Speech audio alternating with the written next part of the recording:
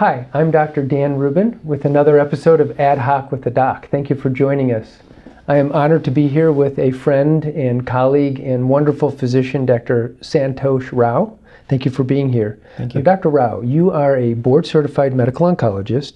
You specialize in genitourinary oncology, and you're also the medical director of the Integrative Medical, uh, the Integrative Oncology Center at Banner MD Anderson in Gilbert, Arizona. Correct. Correct. Correct. Wonderful. And I know of the work you've done and are continuing to do because um, we've uh, shared patients before, and everybody speaks so highly and wonderfully of, of your work. And I visited your center. It's lovely. It's on a lovely campus. It's designed beautifully. But take us through what a typical first patient visit to the Integrative Center would look like. Sure, thanks. Um, mm-hmm. So we do a variety of things. Mm-hmm. So different people will come for different reasons. We pretty much span prevention of cancer mm-hmm. all the way through cancer survivorship. So on the prevention side, um, there's a lot of uh, uh, work that's being done on uh, what we call our tobacco recovery program. Okay. So some people will come in um, for a very multidisciplinary program using health psychology, some medications, um, acupuncture to help with um, with tobacco cessation. Wonderful. Um, on the integrative side, we have now four integrative providers. I'm one of them. Okay. And so we, on an initial visit, you know, somebody will will basically do an intake where we talk about what are your concerns, and everybody's at a different, um, you know, stage at where their cancer is and their treatment. So a lot, it's very personalized. Um, and it's really just kind of assessing okay what are your side effects from treatment what are your concerns some people are just interested in prevention Prevention of recurrence? Prevention of recurrence. Uh, it may even be prevention of cancer, but usually prevention of recurrence. Um, diet, uh, what your stresses are, and what how you relieve your stress. Okay. Sleep, uh, issues related to spirituality, big- okay, interesting. exercise, and then natural supplements. Um, many of our patients come to us because they have all sorts of questions. Um, and I'm sorry, do they self-refer most of the time, or are they referred from other oncologists? Or They're referred from other oncologists right Okay. now.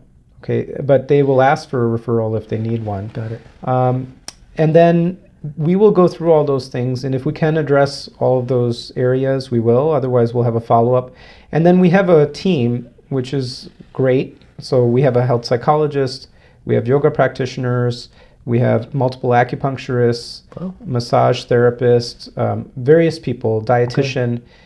So we want to use all these different people, and we'll personalize the use of these individuals for what that individual needs. So that's how a visit goes, basically. Do you have any naturopathic oncologists on staff?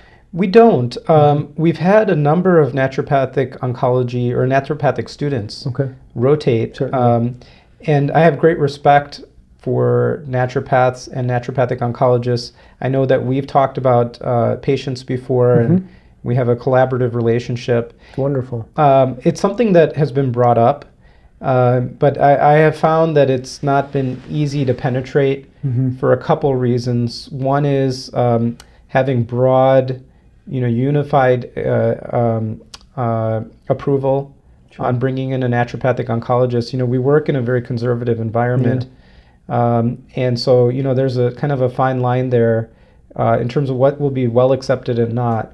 Um, and then I've had trouble justifying, you know, the the the cost part of it Sure. because we cannot bill insurance, but all our programs are billed through insurance. Yeah, that has always been uh, a stumbling block for us is sort of intermingling the insurance versus the cash-based world. right, and I can't explain it to my colleagues. So when Mm-hmm. Yeah. I've when I have told my colleagues, they they don't understand. They don't understand what naturopaths bring to the Mm-hmm. table. And and I feel like I do at least better than they do. Mm-hmm. So I explain to them that look, you're not a pharmacist, right? So why do we need a pharmacist? Mm-hmm. We've studied all these things in medical school. They're a specialist in that area, right? And same thing with the naturopath. Their their area of expertise doesn't completely overlap with our area of expertise, and there's some things they know better than I do. Well said. Well, thank and you. they could not. Um, they, they couldn't really understand that. Yeah. And then the other part of it is, you know, how am I going to tell a patient you need to see our naturopath, but it's going to cost you money? Yeah. We didn't know what the demand would be. but um, personally, I'm in favor of that, and I know a lot of others are as well. Well, that's one stumbling block. I imagine there's been several along the way. What are a few key stumbling blocks that you've overcome, or maybe that are still in your way, if you will? Well, I think that there's certain things that we can't do in mm-hmm. our center. For example, we don't um, offer medical marijuana. Okay. Okay that's just part of being in a. You mean recommendations, not the actual product. Right. Well, we rec- recommend medical marijuana. Oh, got but it. we have to send somebody out to get it. To get it, right? Oh, right. so you're saying it's not you don't have a dispensary. Correct. Okay. Yeah. So that, that, would, would be a big deal. That would have been a big deal, Yeah. but um, those kind of things you just can't offer in, Mhm. a, in a main, you know, cancer center. Sure. I think other things I that think I, it's a, hold on. I think it's a wonderful idea, though, and I mean, thank you Oh, for yes. broaching the subject because the oversight and the ability to really work with the patient one on one on uh, the, the types and how to use it, et cetera. So, okay, interesting. I think someday that'll that'll be uh, better accepted. Mm-hmm. Yeah. I think it's just politically we're not quite there yet. Okay. Um, Well, I think it's great that you're that there's not a stopgap for you to be able to make a recommendation. I'd be all for it. Okay. Um, but beyond that, I think you know we we we are conservative in the sense that we want to do what we think is not only scientifically evidence based, but also well accepted. Those things are not exactly the same thing. To some people, they are, but I think that sometimes we often will do something that's not quite you know scientifically proven but is well accepted. Well, and also You know? we know clinically works, and I think you and I have talked about that. Which you know, Right. you're a physician, and you just because there's lack of data doesn't necessarily mean lack of efficacy, but that might be a stumbling block in an academic institution. And right that's and and you know more than anything else um, i- it's it's a closed environment so because it's not a private practice where you're really just dealing individually with patients Mhm. You're Mhm. uh, dependent on and have to answer to in many uh, occasions to your your colleagues who are um, consulting you and that's good i think it can kind of actually strengthen the practice Mhm. but at the same time, you may not do everything you just feel like. Um, you have to substantiate it, and I think Sure. all those things can be healthy. Agreed. But it just the pace at which you have to move is really Okay. dependent Understood. on where the science is. Got it. Wonderful. Well, you are certainly a unique practitioner, and I'm very curious from from your viewpoint, from where you stand. What's the outlook then for uh, integrative oncology from uh, from from your perspective? What do you see? Yeah, I think that um, first of all, it's so well accepted now. Mhm. You know, whereas when I started, it was something that I had trouble talking about. Now, everybody talks about it, Mhm. and there are many people who are in some way or another, even if they don't say they're an integrative practitioner, are interested in doing research in some of these areas. Mhm. So it's become in vogue. It's not difficult to tell somebody you're interested in integrative. It actually can be a job creator instead of a job killer Mhm. that way. So I think Well it's more popular than it ever was. Patients are interested. Mhm. Okay. I think where we're going though is going to depend on how much funding we have for research. I think if you look, and I'm talking from an oncology perspective, there are so many billions of dollars spent on oncology research and drug development. And I feel like that's far ahead and outpacing the research in these other integrative areas, especially in things like natural supplements. Mhm. And so we're making great strides on, you know, conventional treatment, which is amazing.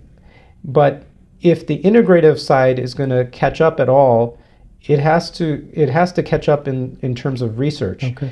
Especially now that we're getting more and more precise, what we really need to know is the mechanisms Mhm. for how these things work. I think testing and personalizing and really being very precise with how we apply things. We don't even understand the dose and the effective dose for a lot of natural supplements, for example. We don't understand the mechanism of action for things like acupuncture and Reiki. There's so many things we don't know. Yeah. And so when you're working in a system where we're really, really, really fine tuned with our understanding of cancer and, and drugs, Mhm. and then on the flip side, you have all this stuff that you think works, but you have no idea about the precise nature of how or, or how to apply it, that's a misfit. So I feel like eventually that's where things have to go, and then we'll get a better appreciation of where and how important some of these things are. Wonderful. I think it sounds like a wonderful intersection because we can certainly extract an isolate from a plant or call it a natural supplement and then figure out the mechanism that we're dosing it upon and then figure out, you know, the effective dose and based on the parameters of the study. But talking about Reiki or acupuncture and mechanisms of action, I'm curious if you think that science has to catch up to those mechanisms before we can elucidate what we believe the mechanisms are because those are so energetic in nature.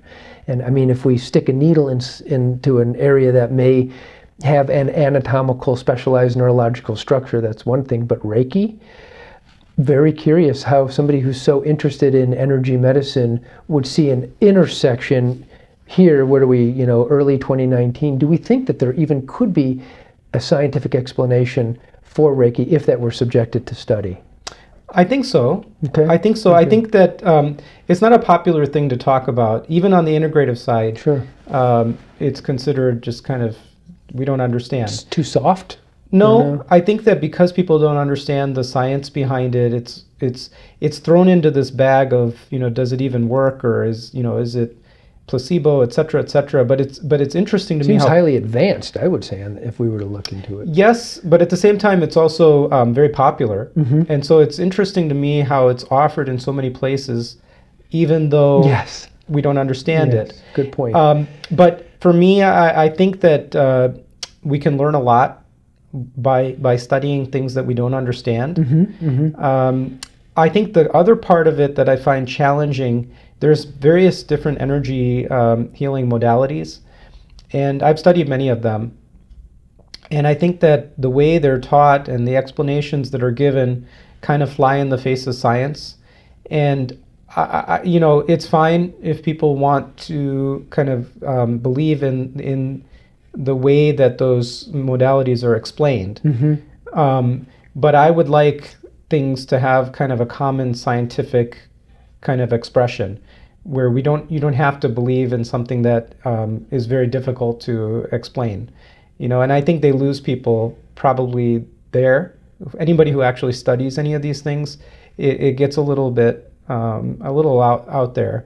And so I, I think for me as somebody who actually has done these things and Mhm. experienced them and um, seeing how they can affect people i really do believe there's something real and let's start from there is, is really getting a sense of what's what's going on and what are the real clinical impacts and some of that stuff has Mhm. already been studied Mhm. but I think just more, more, more, more elucidation, um, and and you know major centers like Cleveland Clinic does a lot of research using Reiki um, in Wonderful. various uh, areas, and so I, I don't think it's necessarily so alternative you can't study it, but that's one example of, of a modality that um, is not accepted by everybody, whether it's conventional medicine or even in the integrative side, Mhm. and I think it's just a lack of understanding or the way it's explained. Well, Dr. Rao, thank you so much for being on Ad Hoc with the Doc. I appreciate it. It's been wonderful to sit and talk with you in this regard, and your words really seem truly spoken from the heart of a true integrative oncologist. Thank you so much. I really welcome. appreciate it. Thank you. Thank you.